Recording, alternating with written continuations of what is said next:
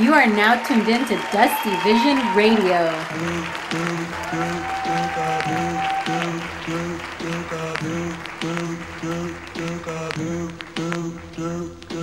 Ladies and gentlemen, the Duke That's right. I'm uh, excited about tonight's show. Uh, Victory Outreach is a church that I'm very familiar with. My stepfather went there after turning his life around, after gang banging, living that crazy life.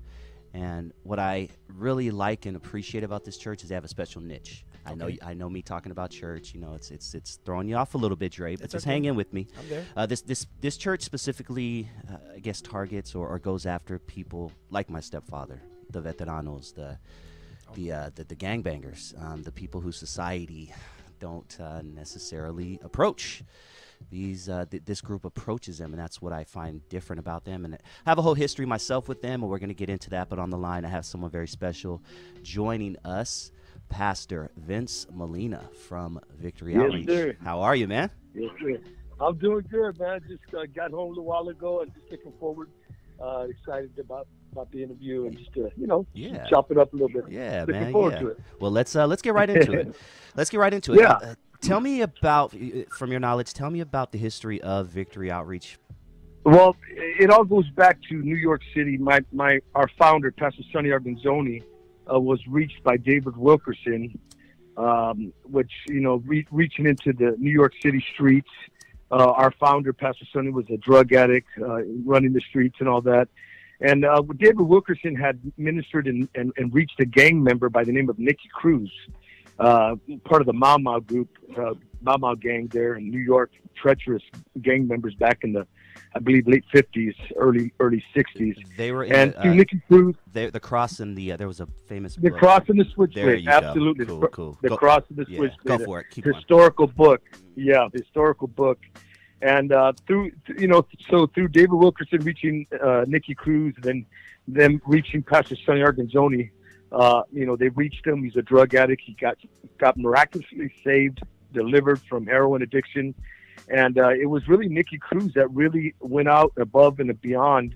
Uh, even when Pastor Sonny was going through a real struggle uh, in his salvation, it was Nicky Cruz that went looking for him again to, make sure that he was okay. He was he was coming to a, a crossroads, serving God, but really feeling the pressure of making that decision to really serve Christ. And then it was Nicky Cruz that that sought him out, looked for him, and found him again, and said, "Look, it no matter how hard it gets, you know, you, you got to get back up." And just it was it was a life changing moment. And if it wasn't for Nicky Cruz uh, uh, going after Pastor Sonny during his struggle of salvation, uh, I, I don't know where we would be. A lot of us would be, but uh, thank God for men that were obedient to to reach the lost and those that are hurting and those that even struggle sometimes coming out of that lifestyle. And that was what Nicky Cruz did. He he, he really reached out and, and, and reached out to uh, Pastor Sonny. And from there, Pastor Sonny was was uh, uh, went to L.A. and and went to Bible college out there, La Puente Bible College, LABI. And from there on, um, he stayed out there. He, he met his his wife, Sister Julie, and uh, they made uh, you know the West Coast their home, and that's where Victory Outreach was was started right there in Aliso Village in East LA. I believe it's still there, the uh, the projects, and started right there by reaching the gang members, the drug addict, the prostitute, the down and out, the hurting, and that all started in 1967. So here we are, well over 50 years later, uh, still doing it, and it's just growing and growing. The ministry's growing. I'm just a, a one one small church part of a great great body uh, all over the world that's reaching to the streets. I love that. Let's let's go way back to the beginning, and and then we'll end at how you ended up here. Uh, but where exactly did you grow up? Well, I grew up in San Jose, California. Well, I, I grew up in, in Santa Barbara and San Jose. My family is originally from the Santa Barbara area. My mom and dad originally from Santa Barbara. Uh, my dad was born in Carpinteria. My mom born in Santa Barbara. So, uh, you know, they they my dad migrated, uh, if I could use that word, up to Northern California uh, in the in the 40s, I believe and uh, late 40s, and, and, and ended up over there. Uh, of course, my mom ended up over there too. They met. It was a kind of a crazy story, but they kind of reunited up there. Uh, uh, both our families knew each other from Santa Barbara, but my mom and dad met again in, in San Jose, got married, Um, my dad was a professional fighter, top ten in the world. Oh, Uh, so his career was he really launched out. He was really busy fighting at Madison Square Garden, Wait, New York City. What- what's his name? I'm a, I'm a huge boxing fan. His name is Louis Louis Molina. You can Google him, look him up. His record. He was he was in the Olympics in in, in Australia in 1957, I think, Hmm. 56, 57. And so he had a, a, a long career of, of boxing, professional fighter Oh, okay. and of course uh, married my mom began to have some kids uh, with total uh, five kids five siblings. But in 1974 74 75 we went back to santa barbara. And that's where we found ourselves me and my brothers getting involved in a lot of things at a young age. Uh, my brother was a heroin addict. Uh, my other brother uh, just running the streets. Uh, you know, we, and eventually I, I found myself trying to identify with my brothers at a young age of 11 and a half, 12 years old, just began to search for, you know, uh, you know, excitement, fun, um, acceptance. So I began to run the streets too. But Santa Barbara is a very, as you know, is a very nice area. Yeah. But back in the 70s, it, it, had even right now it has some rough areas, some really really rough areas. But um, so you know, we kind of we grew up there for a while. Then uh, 1980 or so, we moved back to San Jose. So we kind of moved back and forth and uprooted ourselves. And it was there when we moved back to San Jose, California, is where I eventually gave my heart to the Lord. I got introduced to Victory Outreach. Uh, my pastor, Pastor Ed Morales, the the director, the uh, uh, the director that uh, directed the movie, The Duke of Earl. That that was my pastor. And I, I met him at a very young age, and uh, he's the one that reached us, reached me and my brothers, and uh, the rest is history. Although I pulled out of it and I, I got saved, all the dudes that I run I ran around with are, and, and I know you hear this a lot. They're either Dead, dead or locked up. Ugh. That's how it is. And some are doing well. There is actually a few of us from my neighborhood right there on the east side of Santa Barbara, Mm. east side Santa Ruta, they called it. You know, we, we ran around there, and some are doing well, and some are dead. Mm. A lot of good friends that died, overdosed, or were killed. And uh, and then there's some of us that got saved and, and, and are serving the Lord and, and doing well. And so we kind of like, me and my brothers made it out of the neighborhood there in the east side of Santa Barbara and San Jose. We ran around San Jose too, and that was kind of a hard thing because moving from southern to northern uh, California, you know, back then in the north and south thing wasn't jumping up a whole lot. Mhm. It was there, but The it, it was, it was difficult. Yeah, that Mhm. whole thing was really was starting. I mean, I'm sure it was already happening in the prisons, but on the Mhm. streets in San Jose, it wasn't jumping off that much. And then, and then as, as we moved back to San Jose, we started, you know, uh, seeing a lot of that jumping off and happening. And it was, it was kind of hard because we had lived in both Southern and Northern California Mhm. throughout our lives. You know, a lot of my family have I have family in Long Beach, L.A., you know, Lakewood. You know, so I have family in, in Northern and Southern California, and I've always been back and forth, kind of, you know. Okay. And so it's been at times difficult, you know. I want to talk about. I guess this will be one of the biggest parts of your legacy. You know, um, the Duke of Earl uh, is a Right. a right. a, gr- a great movie that a lot of people who grew up in Los Angeles and uh, shit, California, everywhere, Texas. I mean, everybody knows about this movie. Right. And uh, Vince and I discussed uh, a few days ago or a couple weeks ago, whenever we first talked. I don't remember if I saw the Right. movie first or the play first, but uh, long story short, Victory Outreach uh, put together a uh, a play that is still going on to this day, I, I do believe, and they basically picked real life street kids to to act, and I'm gonna take uh, I'm gonna have you take it from there and explain Okay. the history of Duke of Earl and how you got approached to do the movie to be Cisco. Right. Yeah, right, right. I played the character Cisco. Uh, my wife is Shy Girl. She played Shy Girl in the, in the movie. Mm-hmm. And you're talking almost 40 years of, of Duke of Earl history that I have, and I'm going to try to sum it up the best I can. I'm, I'm an original member, if you call it, of the play, the movie, starting from the very beginning, 1980, 81, at a young age when I got saved uh, and gave my heart to the Lord. You know, my pastor, Pastor Ed Morales, uh, I remember, I, I, I remember the day he told us, "Listen, we're gonna we're gonna go into the youth authorities, and we're gonna show a play." And we were all looking at him like, "What kind of play?" Goes, "It's gonna be a gang play about gang members."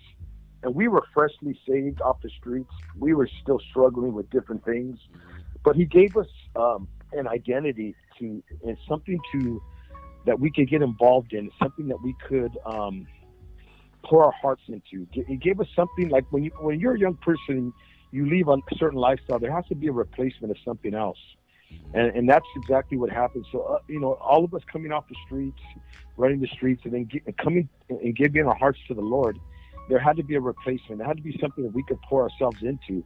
And so what he told us, he said, listen, in about two weeks. I, now I can't remember the youth authority, which one it was. It was, it was either Karl Holton or OH Close. Uh, those are in Stockton area. Those are the, the youth authorities. I can't remember which one it was, but he said we're going to go in, in two weeks to go do a play. And we looked at him like, what play are we talking about? We had he goes, we're going to put together a play about two gang two gangs, and there's going to be this and it's going to be that, and we're going to. And he started talking to us about the play, and we're like, we we've never done anything like that, anything. And so he said, next Saturday, meet me at my house in the backyard, and we're gonna have practice, and we're gonna we're gonna go through the play. So we we all were excited because we are all from the streets. We're all already dressed up, you know, dressed like gang members and khakis and Pendletons and hairnets and the Stacy Adams and just you know. And so we were like, in the oldies, he had the music. He said, okay, this is the story. So he put together this play, and we had no idea, no idea that it would blow up to what it was, what it what it became. So, two weeks later, we went into the youth authority in Stockton, which was, like I said, either O.H. Close or Karl Holton. Those are the two names. DeWitt Nelson, I think, was the other one. And we went in there, and we and all these dudes, man, Sureños, Norteños, all gang members, filled this little auditorium in this youth authority. And here we came. Here we come we came out on stage. The music was on. The you know we began to just do our parts, and the gospel was preached through this play, and uh, it, it was it was an incredible an incredible evening. I'll tell you why because little did we know that as we were doing this play, we thought at that time we were just entertaining. We had no idea that we were ministering. Really, oh, okay. it was more like we thought we were like because we were fresh. And when I watched it, if I may, when I watched it, I didn't feel like I was uh-huh. being preached to. So we're doing the play, and to see the faces of these guys that were locked up, to see them come to the altar at the end, because at the end, if, if you're familiar with it, there's an altar call to give your heart That's right. to Jesus. Yeah, I do remember that. Now and that when, you say that. Yeah, and when we saw all these gang members, hardcore, you're talking 16, 17 year old young guys that are in there for murder mm-hmm. that are in there for all kinds of crazy things to see them at the altar broken and crying and giving their hearts to, to the Lord. We never expected that. We didn't know. Now, my pastor did. He knew exactly what he was doing and how he was going to do it. But we we had no idea. But when we began to see these gang members broken and giving their hearts to the Lord, there was a special anointing that fell upon that altar call. That it was the birth of something great and when we were done, we were like in amazement. We were speechless because we didn't, we could not believe that the little that the little that we did on the stage, which was probably an hour, uh, it, the drama lasted about an hour, and none of us are actors. We're all just from the streets. To see that how God used our lives to touch the lives of these gang members, and from then on, the the the, the director of the youth authority said, "Can you come back again?" And we went back again but from then on, it blew up. My pastor saw that this play was touching the lives of gang members, drug addicts, people from the streets. So what he said, what he told us was, look at now what this is what we're going to do. We're going to show it on the east side of San Jose. We're going to show it on the west side, the north side, and the south side. We're going to do the play all over San Jose. We're going to do it. We're going to do it every side of San Jose. We're going to invite every gang, every gang member, every every person from the streets. And mm. so we began to do the play all over San Jose. From there, it blew up into even more. Where all of a sudden we're in Southern California, we're in Northern California, we're in Chicago, we're in Hawaii. As, as time went on, it began to grow and grow, and, and then it, it went from part from Duke of Earl one to Duke of Earl two. That was the second part of the Duke So you so we were doing the play, the drama for a, a, a couple of about three or four years, mm-hmm. and then we had an opportunity uh, for my pastor to film it into a movie because yeah. it was just a drama on the stage.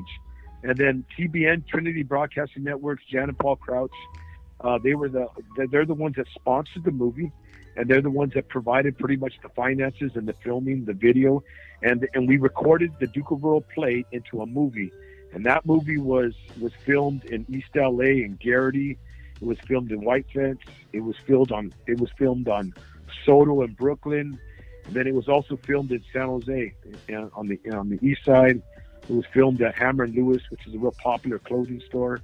Um, different parts. We, we we filmed in Northern and Southern California. Actually, I remember when we filmed, we went into Geraghty Lomas and we went into the neighborhood to film. We literally had to ask permission from the veteranos to go in there, and we they, they literally had a meeting. And so Wow. we Yeah. went on the top of the hill there. It was a rough it was a rough neighborhood. I remember. Uh, we went in, we went on the top of the hill up there. We, we started filming, and those guys stayed. Those guys stayed up all night watching us, all almost Yeah. 24 hours of filming, and and they, they took shifts. Some guys would leave, and the other guys would come, but they watched us the whole time. That we didn't disrespect the neighborhood, write on the walls, or do anything. But it was really organized, Hmm. and we had to ask for, for permission to go into the different neighborhoods to film, even White Fence. Mm, that makes a lot of sense. Um, So I have a specific question for you about about the uh, Yeah. the play, and when you guys were you know promoting the movie and whatnot. Going into these neighborhoods, did you guys have any? Do you remember anything standing out where you had a specific issue where there were gunfights or random drive-by, not necessarily toward yes. you, but just in the neighborhood? Yes, all the time. Not all the time, but it, it happened periodically. I, I remember in Santa Monica, we did it in Santa Monica. They did a drive-by at the theater or wherever place we were doing it. You could hear the gunshots. You know, they, nobody got hit, but you did hear the gunshots um, numerous times. Uh, But, but you would think um, you would you would hear a lot more, but there really wasn't. There was we had a lot of favor and a lot of respect. There was, and it's still on video if you're able to find it.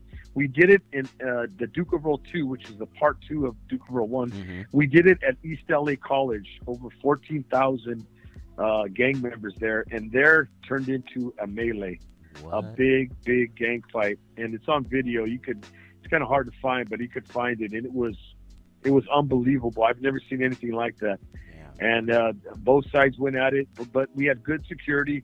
They were able to break it up, but but it was still it was it was it was it was a melee for a good ten about ten minutes until they got uh, you know the crowd under control. But we've had a few situations. Nobody's ever died, just roughed up, hurt, beat up. But nobody's ever lost their lives in any of our performances. But we've had some squabbles. We've had some things that, that have happened. But the amazing thing is to see those people that that maybe got beat up or jumped, to see them come and give their lives to the Lord at the end. They stuck around even for the rest of the play, you know. So it's been, it's kind of it was good. I love that, man. It's, it's Yeah. it's been a pleasure, uh, Vince. Can you do? you- Would you like to promote anything? Um, you, the floor is yours. Well, you know, we just want to let anybody know that's listening out there. If you're caught up in that web of gang violence, drug drug activity, hooked, bound, man, there's a God that loves you so very much, and He's still changing lives. He, he's still changing the gang members and the, those that are out there that are hurting and lost. We're not the only ministry, the only church that's reaching out. You know, there's great, great ministries out there, but we are Victory Outreach, and and we are we've been around for well over 50 years. We're still doing it. We have never lost our emphasis in reaching the hurting and the lost. Throughout the years, regardless of the ministry has grown worldwide, our emphasis is always the treasures out of darkness, Isaiah 45, 2 and 3, that God said, I would give you the treasures out of darkness. And those gang members, those men, those men and women that are on the streets and lost and hurting, they feel there's no direction. There's there's a there's a, a new life that God is able to give you, and and, and and through the gospel of Jesus Christ. And I thank God that over 40 years later, I'm still saved, still serving the Lord. I pastor a church here in Austin, Texas. I left California 22 years ago. I now pastor a Victory Outreach Church here in the city of Austin, and God is doing great things in our city, and God is doing great things in our ministry of Victory Outreach. I thank God for our founders, Pastor Sonny, Sister Julie, my pastor, Pastor Ed Mitzi Morales. My pastor has gone on to be with the Lord now, but he's left a tremendous legacy, and I'm so very proud to be part of that. Amen to that, Pastor Vince Molina. It's truly Yes. been a pleasure, and I look forward to staying close in touch with you. Absolutely, Arnold. God bless you, my brother. You too, my friend. Thank you, and I'll talk to you soon. Okay. Okay. All right. bye-bye. Peace, man.